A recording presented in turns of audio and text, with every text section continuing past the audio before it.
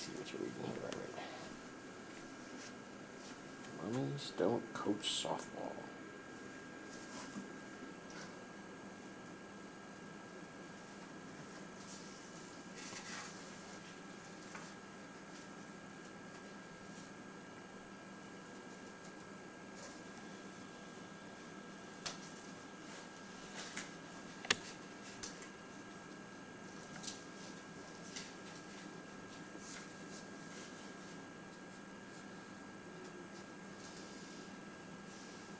The reading room of the public library. Yes, everyone's deeply involved.